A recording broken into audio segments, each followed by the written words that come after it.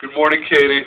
I wanted to make you a video this morning. That's actually the first thing I thought when I woke up was, man, I really want to make Catie Zecker a video. So I am. And I miss you. and I love you. And I hope you're doing really well. It is Friday? Friday morning, I think. And I'm really, I literally just woke up.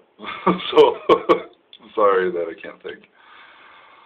And I'm sorry I've been really busy this week. I have probably written more papers, individual papers this week than I have at any point in time in my collegiate career. So, uh, yeah. but uh, I have a little bit of a break this weekend. I just have to research and study a lot. But I'm sorry, you don't care about that. I just wanted to make this and say hey, and that I miss you, and that I love you. I hope you're doing really well.